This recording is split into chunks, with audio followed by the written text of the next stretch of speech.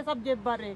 मैं सच कहती हूँ जो भी कश्मीरी भाई है या गुज्जर है या कोई भी है किसी के साथ कोई नहीं जुड़ा हुआ है। मैं जाती हूँ मैं लाती हूँ अपना घर भरती हूँ दूसरा लाता अपना घर भरता हूँ। मैं एक सरपंच हूँ मैं नहीं डरती हूँ मैं आज़ाद उम्मीदवार हूँ।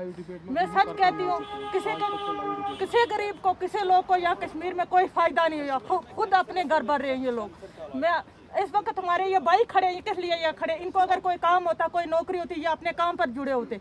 ये क्यों पत्थर मार रहे हैं ये मजबूरी से मार रहे हैं? इसका जवाब दीजिए आप। देखिए 2019 में यहाँ पे इलेक्शन हुए। आपने उनका सवाल सुना? हाँ मैंने और उसका जवाब दीजिए आप।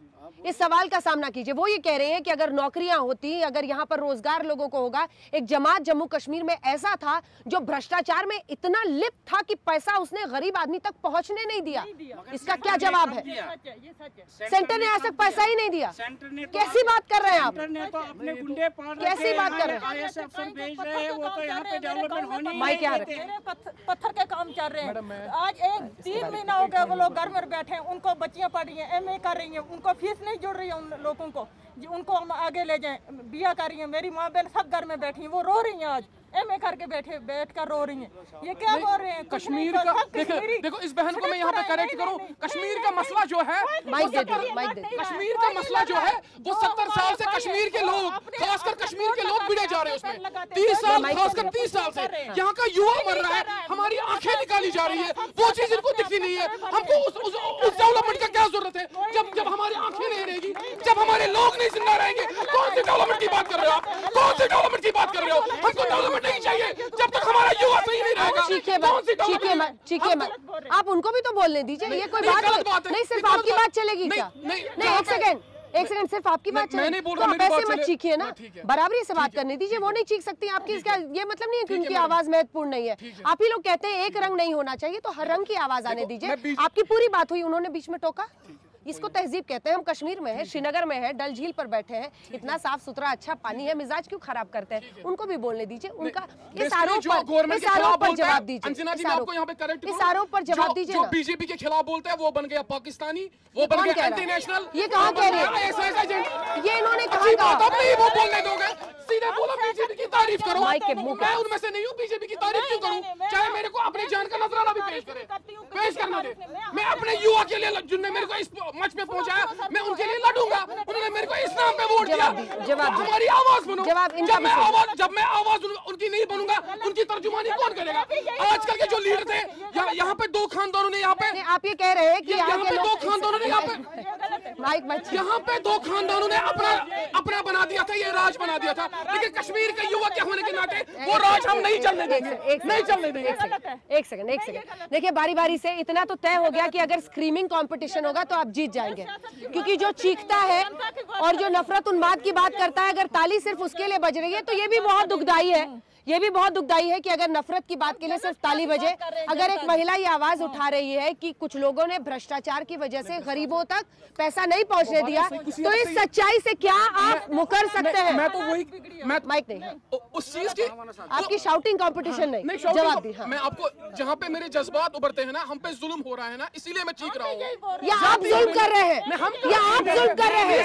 आपने भ्रष्टाचार फैलाकर लोगों तक पैसा नहीं पहुँचा तो अगर अगर वाकई में यहाँ पे कोई स्कैम हुए हैं भ्रष्टाचार हुआ है करप्शन हुआ है। हम तो युवा यहाँ का युवा वो वो मैं युवा होने के नाते कॉर्पोरेट होने के नाते कितनी उम्र है आपकी? मेरी थर्टी ईयर्स एज है ट्वेंटी अच्छा, ईयर्स एज है। अब 28 हो गई 30 से। थर्टी या ट्वेंटी 30 हाँ।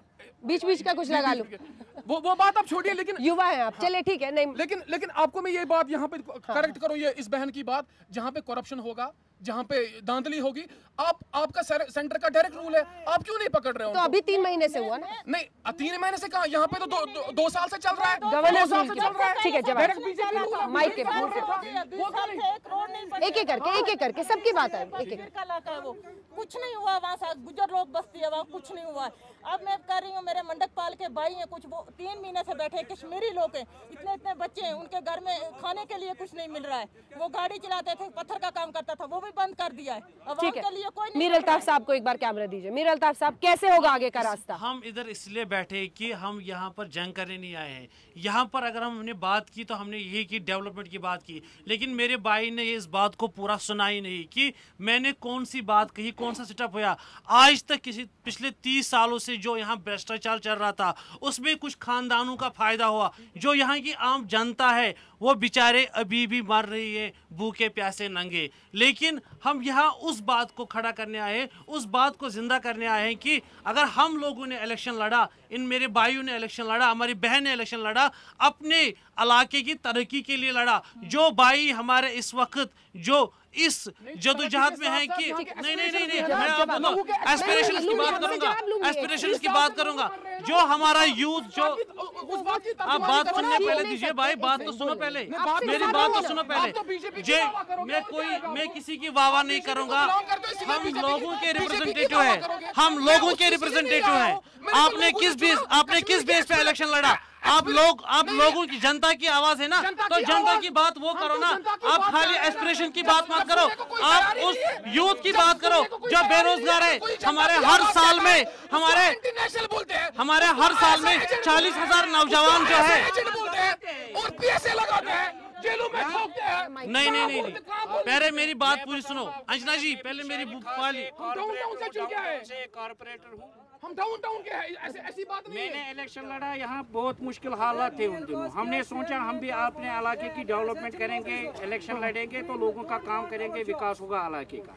हम उसी इरादे से उतरे मैदान में तो इलेक्शन जीत लिया हमने। फिर गवर्नमेंट के जो वादे थे सारे खोखले साबित हो गए अभी तक। मैं परसों की बात करूँ ज़्यादा दूर नहीं जाऊँगा परसों की बात करूँगा मैं 11 सितंबर को गवर्नर साहब ने 25 लाख रुपए हमें पर वार्ड देने का हाँ। वादा किया। हम आपको पर वार्ड 25 लाख रुपए सीडीएफ देंगे। जैसे सीडीएफ देते हैं एमएलए को वही आपको वार्ड डेवलपमेंट फंड देंगे। अभी अभी तक एक पैसा भी नहीं आया। हम शहरी खास में लाइट लगाने पर मजबूर है। हम अपने पैसों से लाइट लाते हैं और लोगों के घरों के बाहर लगाते हैं। ये गवर्नमेंट के पास हम ये बोलते हैं आजकल डेवलपमेंट डेवलपमेंट किस चीज़ से करेंगे ये डेवलपमेंट? अगर गवर्नमेंट ऑफ़ इंडिया से पैसा आता है जाता कहाँ ये रुकता है आपसू में। गवर्नमेंट के जो आई एस अफसर है रुकाते हैं फाइलें अपने ऑफिसों में। बाहर जाने ही नहीं देते। ये हैं यही तो रोकना है ना ये चुनौती है ना कि कैसे उस पैसे को जो यहाँ के अफसर दफ्तरों में कैद होके रह गया उनके घर आप जाइए कई इलाकों में आपको इतनी शानदार इमारतें मिलेंगी जो कि घर हैं दरअसल कुछ लोगों के। यहाँ इतना पैसा है उनके पास और नीचे जिन तक पहुँचना था वो पैसा नहीं पहुँचा ये किसकी गलती है? किसकी गलती है? ये तो सरकार की गलती है। सरकार तो सेंटर तो ये सब कुछ अभी हो गया है या दशकों से चला तो रहा है कश्मीर में? चलता आ रहा है तो तमाम सरकारें कटघरे में है ना? हाँ, हाँ, तो फिर क्या हल है? अगर वो भी हल नहीं था ये भी नहीं है तो फिर हल क्या है? ये अगर बताइए। गवर्नमेंट सिंसियर है इसमें कि करप्शन था यहाँ वो था ये था। इनकी भी सरकारें थी स्टेट में भी थी सेंटर में भी थी। इन्होंने आज तक कुछ भी नहीं किया है। ये किसको यहाँ कटखरे में खड़ा करेंगे इसने ऐसा किया इसने वैसा किया है। अगर अगर यहाँ पे गवर्नमेंट ऑफ़ इंडिया लोग यहाँ पे सोना भी बिछाए रोडों पे लेकिन जब तक कश्मीर कॉज कश्मीर का जो मसला है जो तीस साल से सत्तर साल से लटका हुआ है जब जब तक उ, उ, आपको फिर ताली की तलब हुई। नहीं नहीं आपको फिर ताली की तलब हुई। आपको फिर ताली की तलब हुई।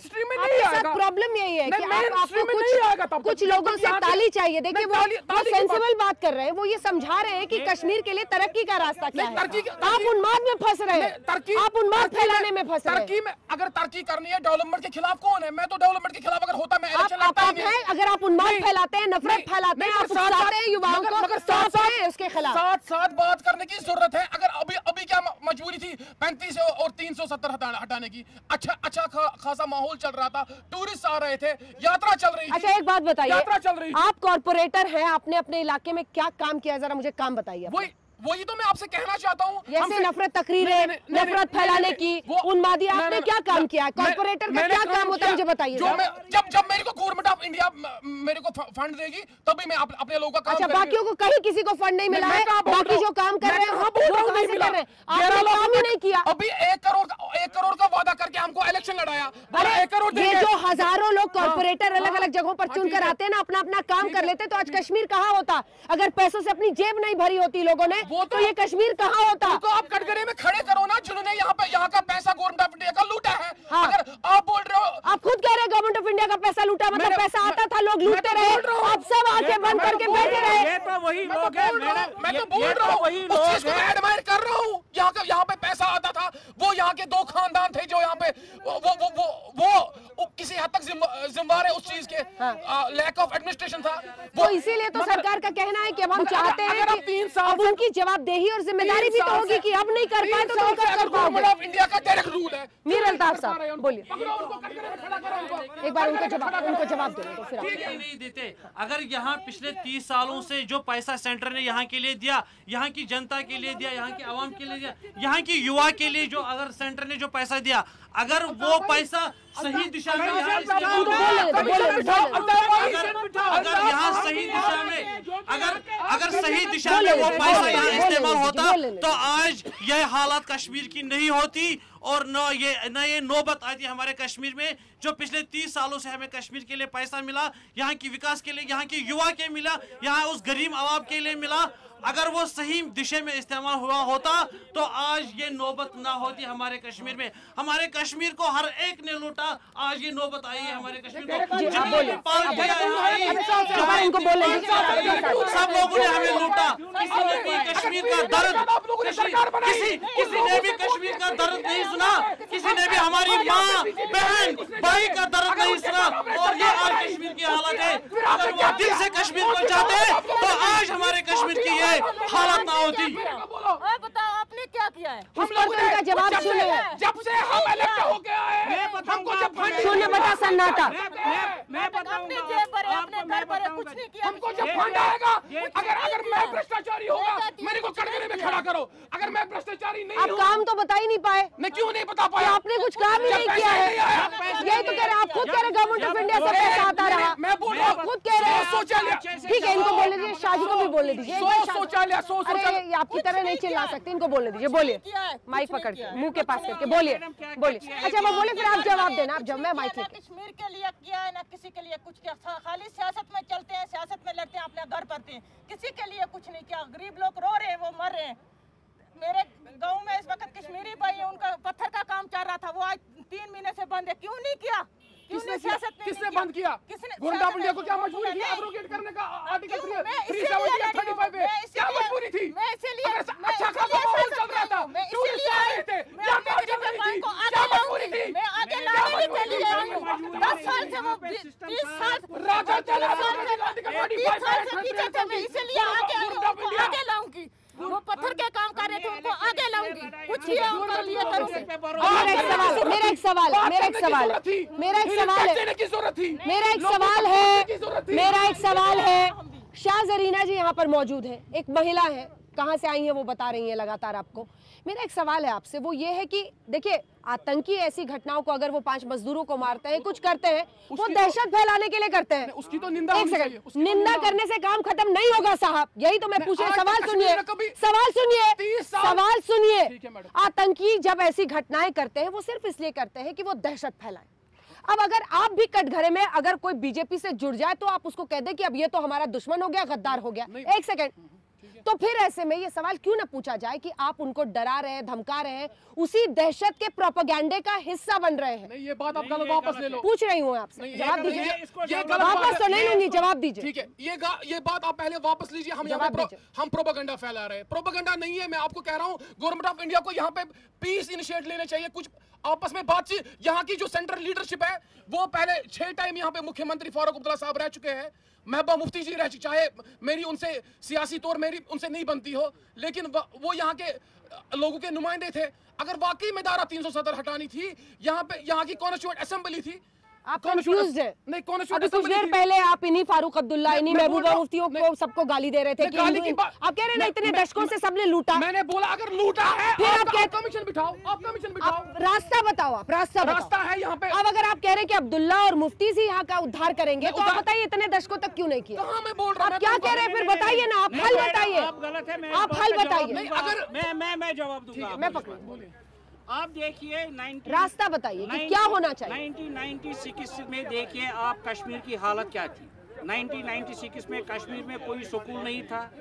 यहाँ पे मिल्टन से सारा कुछ खत्म हो गया था पुल नहीं था कहीं पे सड़क नहीं थी यहाँ पे कुछ नहीं था। ऐसी बात भी नहीं है कि यहाँ पे कोई डेवलपमेंट भी नहीं हुई है। डेवलपमेंट हुई है मगर जो भी मरकज से पैसा आता था उसको तो अफसर लोग लूटते थे।